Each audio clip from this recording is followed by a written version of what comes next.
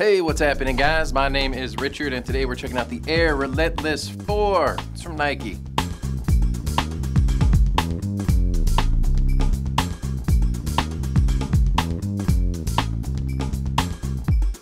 These awesome running shoes here are constructed out of a breathable mesh upper with synthetic overlays throughout.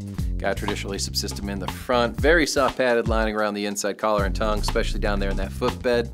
Keep your feet feeling great all day long. Got a very soft midsole in there that'll give you a ton of lightweight cushioning and support.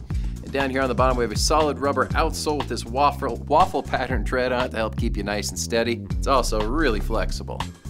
Make sure you check them out. They're from Nike.